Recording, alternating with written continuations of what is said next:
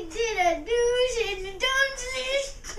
First on the list, don't stick your tongue on the metal pole out when it's cold outside. Duck, duck, duck, duck, duck,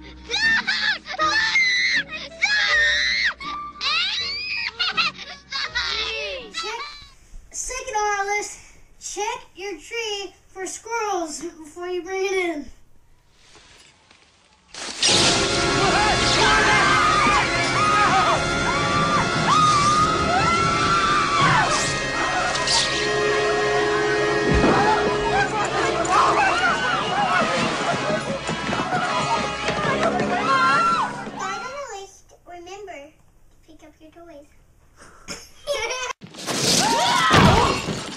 Next, next on the list, always use good manners at the dinner table.